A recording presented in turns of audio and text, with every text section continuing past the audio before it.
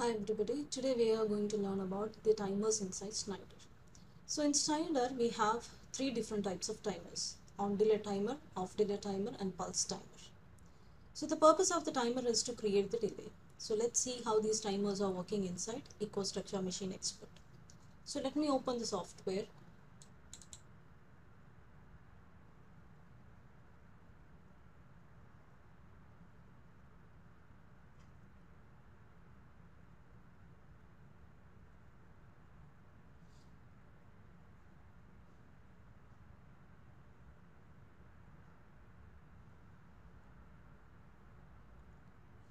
So different brands of PLCs will have different kinds of uh, timers, but uh, on uh, Schneider we have three different types of timers. When you take, for example, uh, Siemens, you will have uh, four different kinds of timers. When you go for Allen-Bradley, you have three kinds of timers. So it, it differs according to the branch. But on delay timer will be there for all the uh, brands. So first you have to go for inactive. You have to disable the uh, what to say the password protection. Go for apply configuration. So here you can see TM221CE24 R is the model available. So I'm going for that one. But we'll be doing simulation. Because in the previous video I have shown you how to do the simulation and hardware. So for now we'll be doing the simulation. Okay. So in that case I don't have to give the communication parameters. For example the IP address uh, the Ethernet IP protocol should not be enabled. All these kind of things in this particular window, we don't have to do anything. So after configuring the CPU, you can directly go to the programming part. So here you can see uh, the rungs. So first I will place a switch and go to the option where the timers are available. So here you can see functional blocks. When you expand that functional blocks, different kinds of instructions are available. First you can see timer, then you can see LIFO FIFO registers, shift bit registers, step counters, normal counter, fast counters, etc. So different kinds of instructions are obtained from this functional blocks. So my requirement is the timer, so I'll click on this timer. So default timer that is available is on delay timer. So I'll place this on delay timer. Yeah, if I place it like this also to work. If I want to drag it more, that is also possible. Now, on the right side of this timer, you can see an option to configure the timers. So when you expand this type, you can see on delay timer, off delay timer and pulse timer. So as of now, we'll go with on delay timer and see how it is working. So maximum preset of preset that can be applied to this uh, timer is 9999. So for now, I'll change that to 10 seconds. I mean 10 and the time base. So the default time base is 1 minute. When you expand the time base, you can see options like 1 millisecond, 10 millisecond, 100 millisecond, 1 second, 1 minute, etc. So for now, uh, I'll choose 1 second. As per the application, you can choose the time base. In this, you can see two options, retentive and dynamic preset is there. So retentive means if I want to retain the timer. For example, when it comes to on delay timer, it will only work when there is continuous supply. If the supply is not there, the value directly go to zero. It means it will reset. But I want to retain the value. For some applications, even if the supply is not there, I want to retain the value. So here my time is 10 seconds. So in between the supply was off, went off. Then uh, the timer was running and it reached 5 seconds. At that moment, it will retain that value. When the supply resumes, it will continue from that 5 seconds. It will go from 5, 6, 7, uh, 8, etc. The function is similar to on delay timer. Whatever timer you are opting here, that function will happen, but it will retain the time. So here, if you want to uh, enable that, you can enable it. And the dynamic preset option. So dynamic preset option means, uh, so I am giving the value as 10 seconds here. So that means I can work only this timer uh, during the online mode in 10 seconds only. But during the online mode, if I want to change the value of the timer, I have to enable this dynamic preset. So that is possible with this dynamic preset. So first we'll uh, do it normally, then one by one we'll see how this retentive and dynamic preset is working. So click apply. Now when this is done, I want to turn on my output. So let me give the address for your input and the output.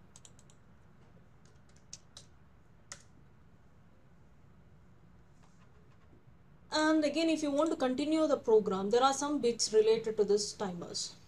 So every time uh, we cannot use the same block again and again. So in that case we can use the uh, bits related to the timers. For example I'm going to place a switch. When this is done I want to turn on something else. So in that case the name of the timer is tm0 here.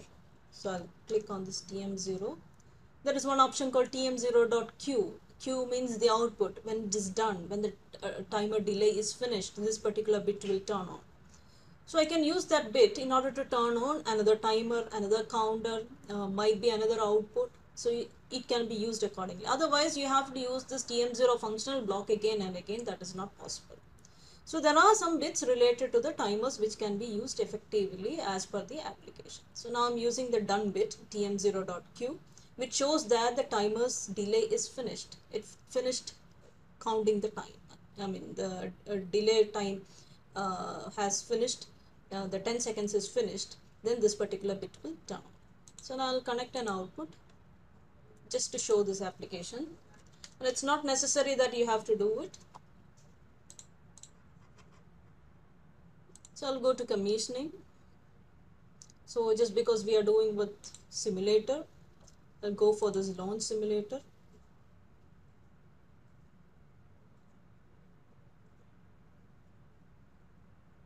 Click on the start controller. Let's see how it is working.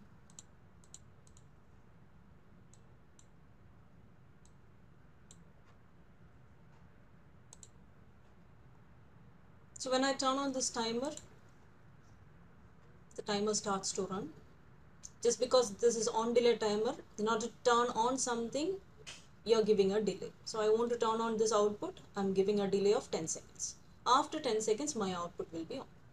So once this is on you can see the done bit it gets active and this is active and corresponding output is on.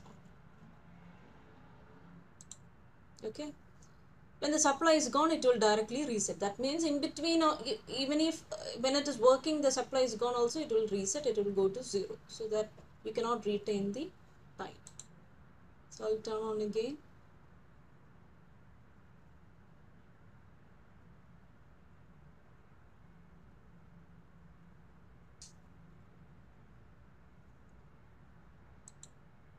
Okay.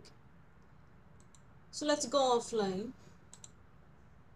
I'll stop the simulator and we'll enable the retentive function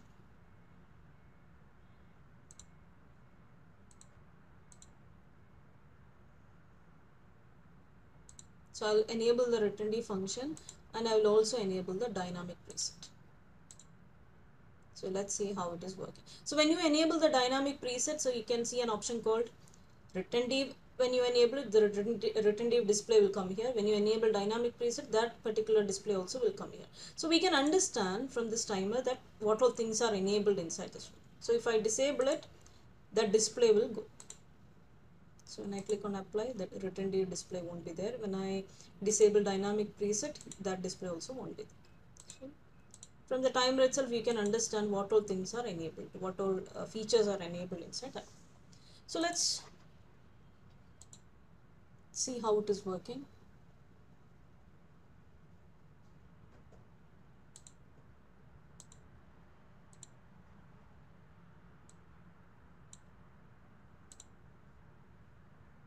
So then now the timer is working. Function is on delay timer itself. So in between I'll turn off the supply. You can see it was 6 and it stopped at 6. It did not it, it, it didn't go to 0. It didn't reset. So now I'll start again it will continue from 6 7 8 9 10 so when I turn off it will go to 0 now I'm going to change the preset so when I double click on this particular timer you can see an option is enabled that particular timer is visible here I can change the value of the preset so let this be 50 So on the below you can see an option called apply. So when I change the value you can see that change on this timer also. So let's see how it is working.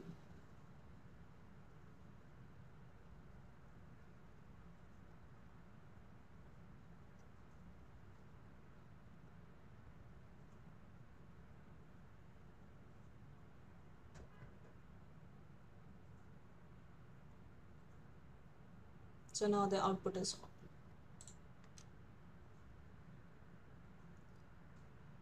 so uh, this is how the on delay timer is working with retentive function and dynamic preset.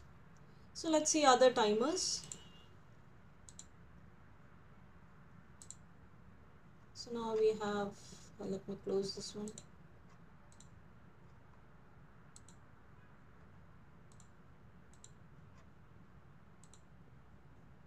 I'll place another timer. Change this to pulse timer TP let the time be 10 time base be 1 second. So I'm not going to enable retentive or dynamic preset because for the pulse timer this return retentive will not work. So if the supply is gone it will continue it will finish that particular the 10 seconds then it will turn off. So return retentive won't work for that one dynamic preset will work. That's why this only this particular box is enabled. So now click on apply. Okay. Now what is the function of pulse timer? So whenever you give a pulse the timer starts to run and the output also will be on. It will work for that particular time delay and then it will turn off. So for example if you are giving 10 seconds when the pulse is given to the uh, system in to the timer it will work for 10 seconds and your output also will be on for 10 seconds and then it will turn off. That means a positive signal is only required for this timer to work. And again uh, as per the uh, I mean, term meaning the timers um, in, uh, the uh, the name like pulse you can give a pulse for a pulse as the input to the timer. It will work with that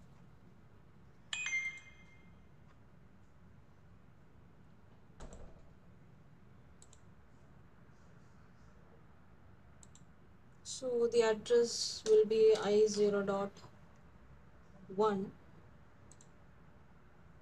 then q0 dot 2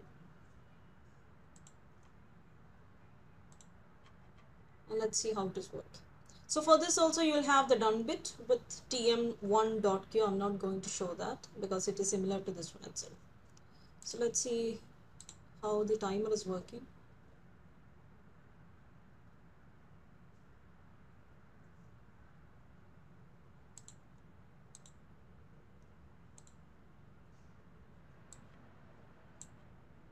I'll turn on turn off. See the time was working. Your output is also on. Once it reaches 10 the output will be off and it will reset automatically. Yeah it will reset. Let's see if I'm giving positive pulse what happens. Then also it will work.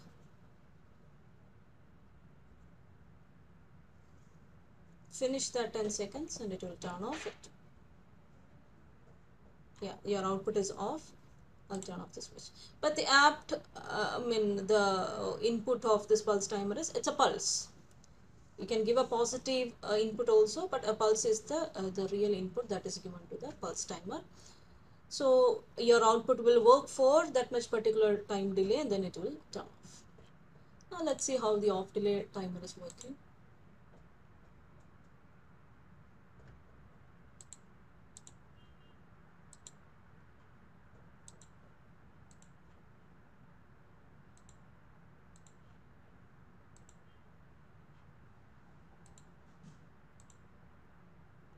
so here I'll change the type to off. 10 one second. Apply. So here when I change the type to off delay you can see the retentive is also enabled and dynamic option is also there. So the previously when I was selecting the uh, pulse timer the retentive option was great. That means you cannot use that retentive option. So according to the timer it will change. Okay so now what is the speciality of off delay timer? So when you turn off something, if you want to have a delay, then you go for off delay timer. So for example, you have a motor and uh, you turn on the motor, you have a, uh, what to say, a cooling system inside the mo uh, motor. You have a fan, okay. So you turn on the motor, then you turn off and the motor will be off but your fan inside the motor will be working for another uh, 10 seconds and then it will turn off so in that case you can go for off delay timer So these are the applications where we use uh, particularly off delay timer and it's not uh, necessary that you have to use only one particular time, nothing like that. These are the basic functions of the timers. You can use it accordingly. I mean, uh, as per the applications, as per the easiness. So according to that, you can, for a particular application, sometimes on delay timer will be the best one. So in that case, you can go for on delay timer. Sometimes off delay timer will be the best one. So it's up to us how we create the program. Just understand how the timer is working and you can create it accordingly. So now I'll launch the simulator.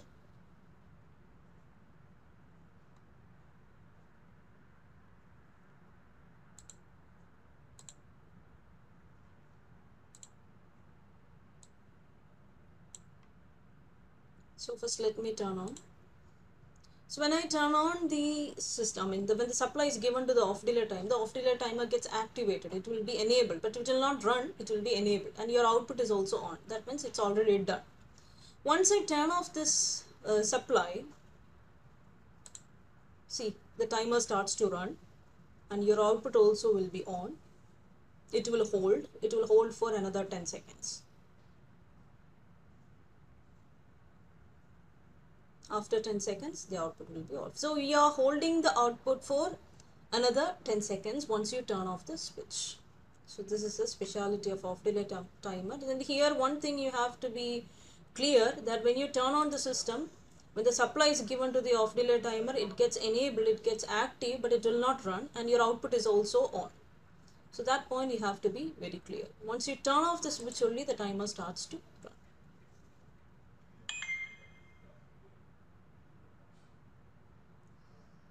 So these are the three basic timers that is used inside the uh, Schneider EcoStruxure Machine Expert. Hope the, the uh, things are clear with you. So we'll be back with another video.